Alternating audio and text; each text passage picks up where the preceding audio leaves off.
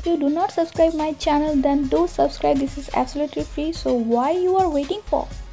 Today i show you restaurant style tandoori chicken. So let's see. At first we take chicken pieces and then we add all the spices. At first we add kasturi methi leaves. Then we add ginger garlic paste. Add tandoori pa masala powder red chili powder garam masala powder paprika powder and we add curd. And then we mix it well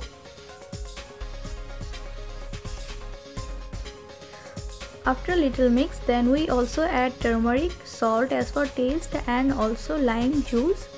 And then we again mix it. After mixing then we give it rest for 4 to 5 hour we add food color. This is optional.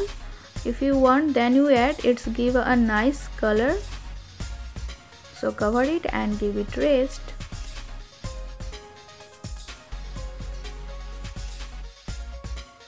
After few hours we check our marinated chicken. You see all the spices absorb nicely. Then we again mix it and uh, after mixing then we cook our chicken pieces. Add little oil on pan and then you add chicken. Cook this cover it and cook all the chicken until the water soaked nicely. When chicken pieces are become soft then your chicken ready that time is uh, for grilling grilling your all chicken. Before grilling then you add uh, butter with the help of brush and then you grill all the chicken. When one side is done then you flip and grill another side. This is a give a tandoori flavor so definitely do this. After grilling then you again buttering your all chicken. Here we heat two clay. And uh, then you add the clay pieces and add little ghee on it and uh, cover it and it's give a tandoori flavor.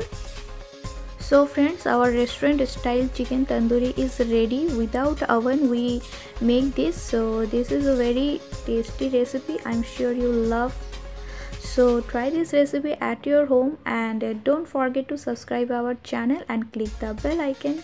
Also do like comment and share. Comment us your views and follow us on our facebook page which is Hunger's Home Food channel.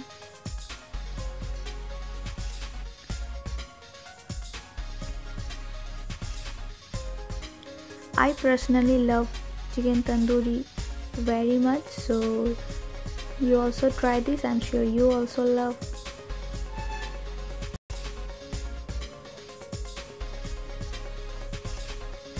Share this recipe with your friends and stay healthy and stay connected. Thanks for watching my show. Meet with you on an another video. Till then bye bye